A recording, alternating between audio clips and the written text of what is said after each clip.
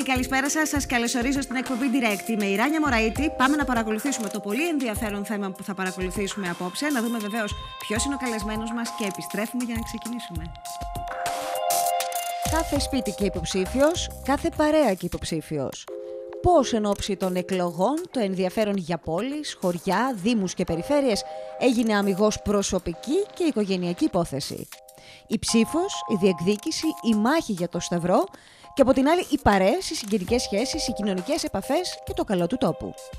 Πώς αισθάνονται οι υποψήφοι, ποιες οι παγίδες που πρέπει να προσέχουν, ποιο είναι το προφίλ του επιτυχημένου. Έχουν θέση οι ψυχολόγοι στη διαμόρφωση μιας δυνατής υποψηφιότητας και ποια είναι τα σημάδια που κρούν τον κόδωνα του κινδύνου; Είναι αγώνας ταχύτητας ή αντοχής; Απόψε ευθέως ή αλλιώς direct, η ψυχολογία των υποψηφίων εν ώψη των εκλογών, λίγο πριν την αντίστροφη μέτρηση για την εκλογική μάχη. Στο στούντιο, ο ψυχολόγος Νίκος Παπα-Νικολάου. Καλησπέρα, ευχαριστώ πάρα πολύ για την Καλησπέρα παρουσία και καλώς σας απόψε. βρήκα. Νομίζω ότι είναι ένα επίκαιρο. Πιο επίκαιρο δεν γίνεται θέμα εν ώψη των εκλογών.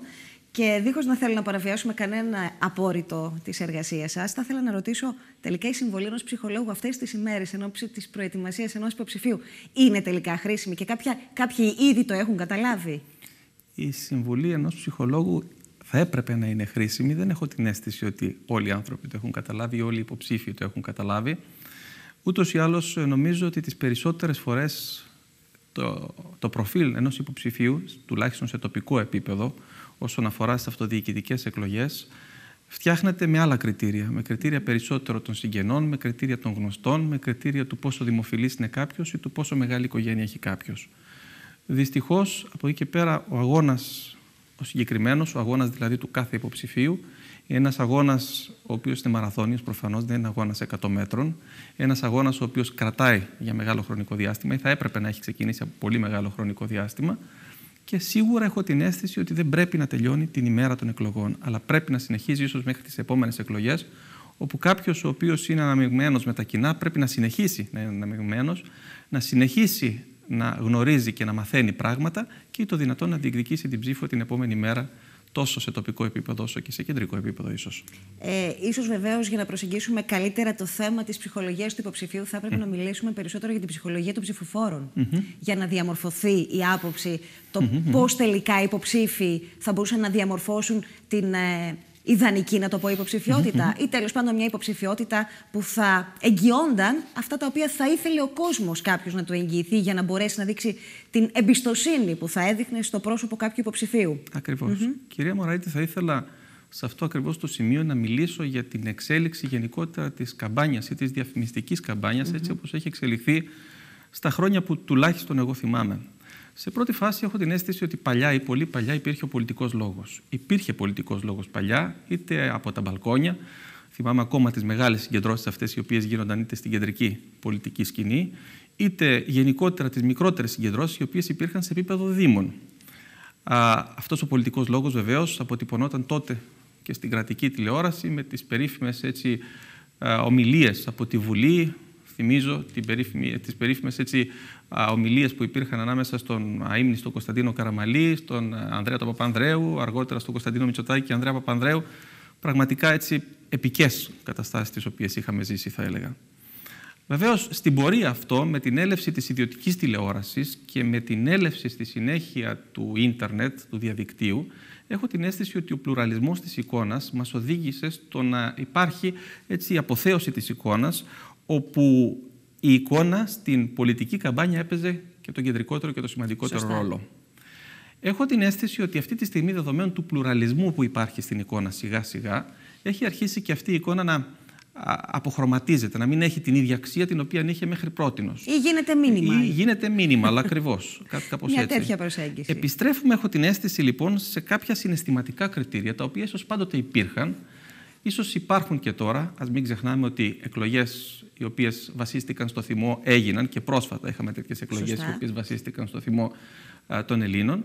Ή αντίστοιχα συναισθηματικά κριτήρια μπορούμε να πούμε για παράδειγμα το ότι τελικά εγώ είμαι συναισθηματικά φύλλα προσκύμενος τελικά προς κάποιον γνωστό μου, προς κάποιον α, της οικογένειας μου, προς κάποιον με τον οποίο έχουμε το ίδιο επίθετο και το πόσο τελικά αυτός ο άνθρωπος είναι άμεσα προσβάσιμος σε μένα. Δηλαδή το πόσο τελικά εγώ μπορώ να τον πλησιάσω, το πόσο εγώ μπορώ να έχω σχέση με αυτόν, το πόσο μπορώ να τον καλέσω στο τηλέφωνο και αυτός ο κάποιος τελικά να σηκώσει το τηλέφωνο από την άλλη πλευρά. Αυτό νομίζω και να ανταποκριθείς σε αυτό που επιθυμώ. Και να ανταποκριθείς σε αυτό το οποίο επιθυμούμε ακριβώς. Τις περισσότερες φορές είναι το περίφημο ελληνικό ρουσφέτη το οποίο υπήρχε και το οποίο υπάρχει και δυστυχώς έχω την αίσθηση θα συνεχίσει να υπάρχει. Από εκεί και πέρα λοιπόν νομίζω ότι έχουμε την αίσθηση και θέλουμε όλοι οι ψηφοφόροι τουλάχιστον ο υποψήφιος να είναι ταυτισμένος με εμά, να είναι ένα κομμάτι δικό μας, να τον αισθανόμαστε κοντά μας. Αλλά. Αλλά, ωστόσο, δυστυχώς έχω την αίσθηση ότι τον αισθανόμαστε κοντά μας μόνο προεκλογικά. Ίσως, αν θέλετε, σε όλες αυτές τις ε, έτσι, επισκέψεις τις οποίες τις βλέπουμε ακόμα και σε τοπικό επίπεδο διάφορων προεκλογικών έτσι, υποψηφίων, στις προεκλογικές έτσι, επισκέψεις διάφορων υποψηφίων στις λαϊκές αγορές, οι οποίες δυστυχώς υπάρχουν μόνο τώρα, θα έπρεπε να υπάρχουν ίσως σε μεγαλύτερο έτσι, επίπεδο και καθόλου θα έλεγα τη διάρκεια της τετραετίας. Της τετραετίας, σωστά. Ακριβώς αυτό το μοντέλο, ο λίγων πολιτικός, ο λίγων έξυπνος, ο λίγο μυστικοπαθής για να υπονοούμε και κάτι που μπορεί να το ξέρουμε και μπορεί να μην το ξέρουμε. Ο λίγων μοντέρνος, γιατί πολύ μοντέρνος δεν γίνεται και ο λίγων συναισθηματικός. Είναι τελικά η συνταχή της επιτυχίας.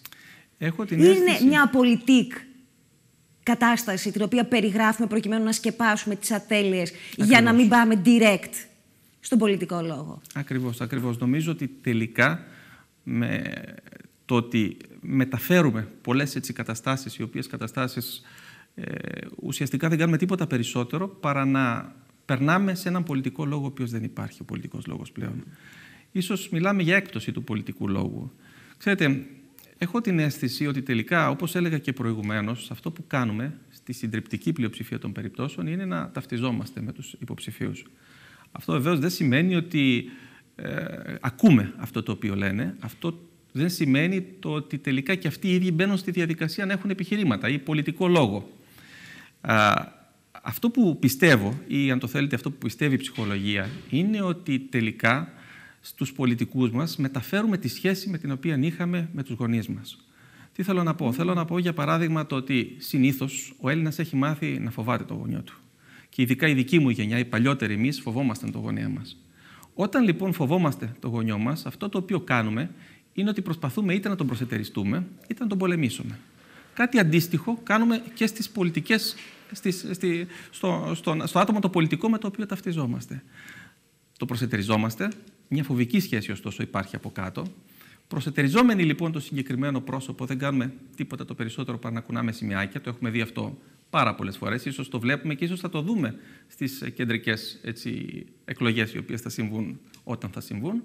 Και από εκεί και πέρα, ωστόσο, ή το πολεμάμε στεκόμενοι απέναντί του. Ποτέ, ωστόσο, δεν ορθώνουμε ένα πολιτικό λόγο. Τα παιδιά που δεν είχαν όρια σε σχέση με τους γονείς τους, τι σημαίνει; Ότι μπορούν να χρησιμοποιήσουν την εξουσία με ένα τέτοιο τρόπο που να παρακάμπτει οποιουσδήποτε ηθικούς δισταγμούς κλπ; Μπορεί να ταυτιστεί; Δυστυχώς μπορεί να ταυτιστεί. Δυστυχώς το έχουμε δει πάρα, πάρα πολλές φορές. Δυστυχώς είναι μια κατάσταση την οποία την έχουμε δει και στις πολιτικές, στην πολιτική σκηνή. Και όχι μόνο στην κεντρική πολιτική σκηνή, αλλά και σε τοπικό επίπεδο πολλές φορές δυστυχώς το βλέπουμε αυτό.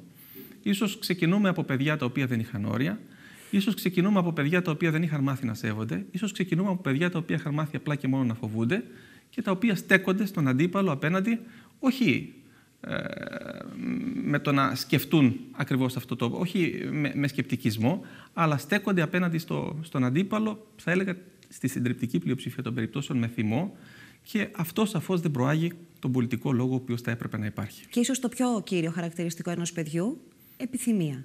Θέλει. Χωρίς να δίνει, ανεξάρτητα από το ποια είναι η συμπεριφορά που θα δείξει, επιθυμεί και απαιτεί να πάρει. Ακριβώς. Λοιπόν, κύριε Παπα-Νικολάου, πώς αισθάνεται τελικά ο υποψήφιος αυτές τις ημέρες, και θέλω να το, να το ταυτίσουμε και θέλω να το συγκρίνουμε με μια άλλη λογική πριν από κάποιες δεκαετίες, που οι υποψήφοι δεν ήταν τόσο συχνοί. Δηλαδή, έλεγες Α, αυτός είναι υποψήφιος. Και πήγαινε το μυαλό σου σε μια ξεχωριστή προσωπικότητα, η οποία συμμετέχει στα κοινά, ήταν δηλαδή λιγότεροι υποψήφοι. Με τους υποψήφιους που έχουμε τώρα, και το κάνω και πιο συγκεκριμένο. Για παράδειγμα, στο Δήμο Ηρακλείου, με τόσες υποψηφιότητες, που για να κλείσουν βεβαίω ψηφοδέλτια ε, χρειάζεται ένας πολύ μεγάλος αριθμός mm-hmm. υποψηφίων. Τελικά έχουμε σε κάθε γειτονιά όχι μόνο ένα υποψήφιο, και δύο και τρεις και τέσσερις. Οι άνθρωποι αυτοί που θα χτυπήσουν την πόρτα του δικού τους ανθρώπου και κατά πάσα πιθανότητα θα δουν ανθρώπους που θα έχουν ε, υποχρέωση και σε κάποιον άλλο υποψήφιο. Αλλάζει η ψυχολογία τους αυτές τις μέρες. Νομίζω ότι ε, το οποιοδήποτε στρεσογόνο γεγονός αλλάζει την ψυχολογία μας. Και στη συγκεκριμένη περίπτωση μιλούμε για ένα στρεσογόνο γεγονός, το οποίο σαφώς θα συμβεί την πρώτη Κυριακή στις 26 Μαΐου και αν έχουμε επαναληπτικές αργότερα. Νομίζω λοιπόν ότι οι υποψήφοι αυτό που προσπαθούν να κάνουν είναι προσπαθούν να δείξουν τον καλύτερό τους εαυτό. Προσπαθώντας λοιπόν να δείξω τον καλύτερό μου εαυτό, προσπαθώντας να βγάλω τη βιτρίνα προφανώς του εαυτού μου, αυτό που κάνω είναι να καταπιέζω ένα άλλο κακό ίσως, προβληματικό ίσως, ίσως περισσότερο θυμωμένο κομμάτι του εαυτού μου. Αυτό και μόνο αποτελεί ένα στρεσογόνο παράγοντα. Το να προσπαθήσω ή το δυνατόν να ακούσω τους πάντες, το να προσπαθήσω να έχω τα αυτιά μου και τα μάτια μου ανοιχτά σε αυτό το οποίο θα μου ζητήσει ο καθένας αυτή τη χρονική περίοδο, το να προσπαθήσω να τάξω ίσως εντός εισαγωγικών στους πάντες, λέει κάτι. Από εκεί και πέρα, σαφώς μιλούμε για ομιλίες, συναθρήσεις σε τοπικό επίπεδο περισσότερο, έτσι, κινητοποιήσεις, διαφημίσεις, οι οποίες υπάρχουν είναι στα μέσα κοινωνική. Αυτό το εισπράτησαν έκθεση. Το εισπράτησαν έκθεση και η έκθεση αυτή καθ' αυτό είναι ακριβώς αυτό το δεύτερο που θα ήθελα να πω, κυρία Μωραήτη, το ότι η έκθεση αγχώνει. Και η έκθεση, η οποία προσπαθώ να δείξω το καλύτερο, μου κομμάτι του, το, το καλύτερο κομμάτι του εαυτού μου, είναι κάτι το οποίο με αγχώνει, είναι κάτι το οποίο με προβληματίζει και είναι κάτι το οποίο σαφώς ε, δεν το βιώνω ευχάριστα. Αυτό θέλει να δει ο πολίτης, κύριε Παπα-Νικολάου το καλό πρόσωπο ή τελικά έχουμε ταυτίσει αυτή την περίοδο με το να δείχνουμε το καλό μας πρόσωπο. Δυστυχώς... Και τελικά ο πολίτης ενώ ας πούμε, το καυτηριάζει αυτό και λέει Απ' αυτό έβαλε τα καλά του και ήρθε να μας συναντήσει mm-hmm, την επόμενη των εκλογών, δεν θα μας θυμάται. Γιατί δεν επιλέγει με άλλα κριτήρια; Δυστυχώς αυτό το οποίο ισχύει τις περισσότερες φορές είναι ότι ο πολίτης επιλέγει με κριτήρια του πρώτου. Δηλαδή, τι θέλω να πω. Με βάση έρευνες οι οποίες έχουν γίνει, φαίνεται ότι ο πρώτος είναι αυτός ο οποίος συναθρίζει γύρω του τους περισσότερους ψηφοφόρους. Έχουν γίνει μάλιστα συγκεκριμένες έρευνες που φαίνεται ότι ο πολίτης αυτό το οποίο θα ακούσει πρώτο και πριν απ' όλα είναι αυτό το οποίο θα πάει και θα ψηφίσει τελικά στην κάλπη. Είναι χαρακτηριστικό το ότι και νομίζω ότι οι περισσότεροι υποψήφοι το έχουν καταλάβει αυτό, ότι το τελευταίο πρόσωπο το οποίο θα συναντήσω πριν μπω στην κάλπη είναι ικανό αυτό καθεαυτό να μπορέσει να αλλάξει αυτό το οποίο θα ρίξω μέσα στην κάλπη. Αυτό το έχουν καταλάβει βεβαίως οι περισσότεροι υποψήφοι και τις περισσότερες φορές βρίσκονται έξω από τα εκλογικά κέντρα. Είναι χαρακτηριστικό αυτό, το έχουμε δει πάρα πολλές φορές. Αν θεωρήσουμε ότι ένα 20% των ψηφοφόρων, όχι στις ε, τοπικές εκλογές, αλλά στις εθνικές εκλογές, αποφασίζει ακριβώς την ώρα στην οποία βρίσκεται μέσα, νομίζω ότι η παρουσία αυτού του ανθρώπου έξω από το εκλογικό τμήμα είναι καταλητική ναι. και καθοριστική, ούτως ώστε αυτός ο άνθρωπος να ψηφίσει το συγκεκριμένο άνθρωπο τον οποίο είδε. Από εκεί και πέρα βεβαίως, νομίζω ότι όλο αυτό τελικά σημαίνει ανοριμότητα.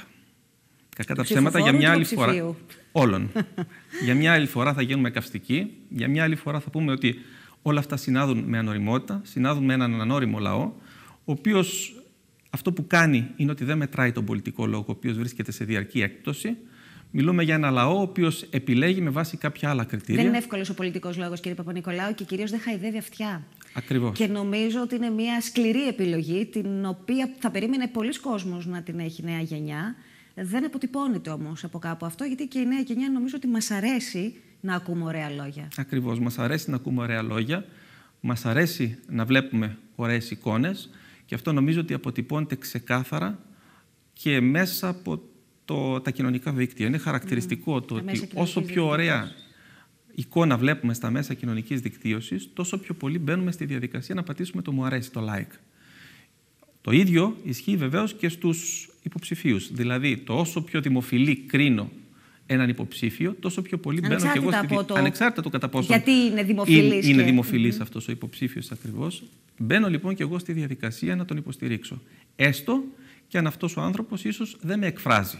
Έστω και αν αυτός ο άνθρωπος βρίσκεται κάπου αλλού σε σχέση με αυτό το οποίο εκφράζει εμένα τον ίδιο. Είναι και αυτό, αν θέλετε, μέσα ή κάποιο από τα στοιχεία, έτσι, τα, τα παράδοξα της κατάστασης της οποίας βιώνουμε τα τελευταία χρόνια. Βρισκόμαστε στην πηγή όλων αυτών που λέμε περισσότερο όταν μιλάμε για εκλογές στην τοπική αυτοδιοίκηση και λιγότερο όταν μιλάμε για εκλογές σε εθνικό ή σε ευρωπαϊκό επίπεδο; Ακριβώς και δυστυχώς, κυρία Μωραήτη, αυτό το οποίο βλέπω τουλάχιστον είναι ότι οι εκλογές, τουλάχιστον σε ευρωπαϊκό επίπεδο, έχουν εκφυλιστεί ως ένα σημείο. Ενώ θα έπρεπε να ισχύει κάτι διαφορετικό. Έχουμε όλοι ίσως την προσοχή μας στραμμένη στις εκλογές οι, οι οποίες θα συμβούν σε τοπικό επίπεδο, και αυτό νομίζω ότι έχει βεβαίως μεγάλη αξία, πάρα πολύ μεγάλη αξία. Αλλά ωστόσο νομίζω αυτό το οποίο οι περισσότεροι τουλάχιστον συμφωνούμε, είναι ότι η Ευρώπη είναι το κοινό μας σπίτι. Στην Ευρώπη υπάρχουν χίλια δύο προβλήματα το τελευταίο χρονικό διάστημα. Υπάρχει άνοδος της ακροδεξιάς, η οποία έχει εμφανιστεί. Υπάρχουν προβλήματα τα οποία πραγματικά ταλανίζουν την Ευρώπη. Και ξέρετε, δεν θα ήθελα αυτή τη στιγμή αυτό το όραμα που τουλάχιστον η δική μου γενιά έζησε, με αυτό το όραμα το οποίο μεγάλωσε της Ενωμένης Ευρώπης, της Μεγάλης Ευρώπης, να αποχρωματιστεί με βάση τον ευρωσκεπτικισμό ο οποίος έχει υπάρξει στο τελευταίο χρονικό διάστημα και ο οποίος μπορεί να τον προσετερίζεται και κάποια συγκεκριμένη παράταξη, για παράδειγμα η άνοδος της ακροδεξιάς, όπως λέγαμε προηγουμένως. Μάλιστα. Άλλωστε, μην ξεχνάμε ότι κάποτε αποτελούσε ποινή και μάλιστα προσβλητική ποινή η στέρηση των πολιτικών δικαιωμάτων. Ακριβώς. Ότι η ψήφος είναι δικαίωμα και τελικά έχω την εντύπωση ότι για κάποιο λόγο η νεολαία έχει στραφεί μακριά από την ενεργοποίηση στα κοινά. Δεν ξέρω ποιοι την οδήγησαν και πώς οδηγήθηκε. Νομίζω όμως ότι αυτή η στροφή κάποιο έχει εξυπηρετήσει. Το να απέχει νεολαία σε μεγάλο βαθμό. Σίγουρα από... κάποιος έχει εξυπηρετήσει, δεδομένου του ότι, όπως έλεγα και προηγουμένως, τελικά κατά αυτόν τον τρόπο δεν έχουμε τη δυνατότητα να ορθώσουμε πολιτικό λόγο. Αν θέλετε, είναι πολύ πιο εύκολο σε κάποιον να μπει στη διαδικασία, να τραβήξει, να προσετεριστεί ψηφοφόρους μέσα από κάποιες άλλες διαδικασίες και πολύ πιο δύσκολο το να μπορέσει να ορθώσει πολιτικό λόγο τόσο ώστε να πείσει μια νεολαία η οποία το τελευταίο τουλάχιστον χρόνια φαίνεται περισσότερο προβληματισμένη, μπερδεμένη, με την ανεργία η οποία παραμένει ακόμα σε πολύ ψηλά επίπεδα, με πολλά προβλήματα τα οποία ταλαιπωρούν, με την κατάθλιψη αυτή καθεαυτή πράγμα το οποίο το βιώνουμε εμείς οι παρικούντες στην ψυχική υγεία να καλπάζει πραγματικά πλέον σε διψήφια νούμερα και να έχει σταθεροποιηθεί και στη δική μας Ελλάδα σε διψήφια νούμερα με τις αυτοκτονίες, οι οποίες αυτοκτονίες δυστυχώς συνεχίζουν και καλά κρατούν έχοντας μια αυξητική πορεία, mm -hmm. δυστυχώς με την Κρήτη να βρίσκεται στην πρώτη θέση ουσιαστικά αναλογικά σε σχέση με τις υπόλοιπες περιφέρειες Ελλάδος και έχω την αίσθηση ότι τελικά αυτό το οποίο υπήρχε, υπάρχει και θα υπάρχει προφανώς, ο ήλιος της Ελλάδος δεν είναι ο μόνος ο οποίος είναι ικανός να μα μπορέσει να. Μας βοηθάει να το συνθέσουμε, αλλά όχι να είμαστε απόλυτα υγιείς. Δύο σύντομα ερωτήματα για το τέλος. Το πρώτο, ο υποψήφιος που τελικά δεν θα καταφέρει να εκλεγεί, το παίρνει σαν απόρριψη όλο αυτό; Έχω την αίσθηση ότι υπάρχουν δύο ειδών υποψήφοι. Αυτός ο οποίος θα το πάρει ως απόρριψη, αυτός ο οποίος δηλαδή θα κατορθώσει το θυμό αυτόν τον οποίο είχε, γιατί ως ένα σημείο, ξέρετε, όλες αυτές οι διαδικασίες απαιτούν και κάποιο mm -hmm. θυμό. Θυμό δομικό. Θυμό τελικά ο οποίος θα σε βοηθήσει να αντιμετωπίσεις αυτή την κατάσταση. Προς κάτι καθορισμένο ή ακαθόριστο. Ακριβώς ναι. προς κάτι καθορισμένο ή ακαθόριστο. Αυτός λοιπόν ο οποίος θα εσωστρέψει το θυμό του, τελικά το πάρει σαν απόρριψη, προφανώς θα αισθανθεί άσχημα, θα αισθανθεί δύσκολα. Δεν λέω ότι θα αισθανθεί κατάθλιψη, αλλά ωστόσο θα αισθανθεί άσχημα και δύσκολα ή ως ένα σημείο μπορεί και να μελαγχολήσει. Αυτός ο οποίος θα μπορέσει να ενεργοποιήσει το θυμό του, να κινητοποιηθεί κατάλληλα και να τον εξωστρέψει, ούτως ώστε μετά από κάποια χρόνια, μετά από μια τετραετία, να μπορέσει πλέον περισσότερο όριμος παρά ποτέ να διεκδικήσει την ίδια θέση, είναι και ο άνθρωπος ο οποίος θα αντιμετωπίσει σωστά την ε, απόρριψη αυτή η οποία υπάρχει, την παροδική απόρριψη αυτή η οποία υπάρχει και η οποία μπορεί να σημαίνει ότι τελικά προσαρμόστηκα και άλλωστε η προσαρμοστική και η προσαρμοστικότητα, ξέρετε κύριε Μωραήτη, είναι κάτι πολύ πολύ βασικό και πολύ σημαντικό στην ψυχική υγεία. Ίσως θα έλεγα ότι είναι ο ακρογωνιαίος λίθος mm -hmm, της ψυχικής mm -hmm. υγείας. Κάτι τελευταίο.